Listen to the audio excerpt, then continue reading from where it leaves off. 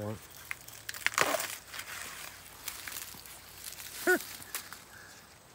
Hey folks, Micah McGie here. In today's video, we're going to be talking about the cornfield here that we planted the cross.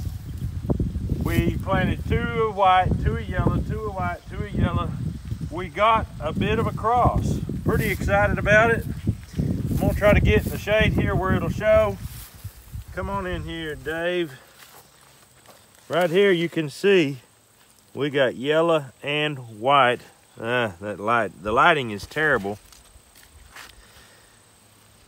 We got yellow, we got white, all in the same ear. This yellow was Guatemalan, the white was Trucker's favorite. We're pretty excited that we got the cross in the field. It's not a perfect cross. I didn't know really what I was doing. I think what I'm supposed to do is cut all the tassels off of one kind so that you have a true mix. So maybe next year we'll try that. But it is interesting to see that we did get multicolored corn. So we're going to be picking about 60 ears here today. And in tomorrow's video, we're going to be showing you how to make tamalitas. I don't even know. What is wrong with y'all? I don't even know how to make tamalitas myself, but we're going to take this to my pastor's house. Goodness. Hey, ain't you to let us have a little peace and quiet here? What are y'all doing? What are y'all doing? So be looking in tomorrow's video for a recipe on how to make tamalitas. I think it's like tamales. Yeah.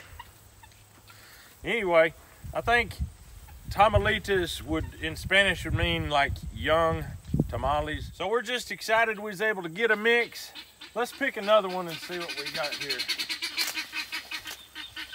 These ears are huge. Big old ears of corn.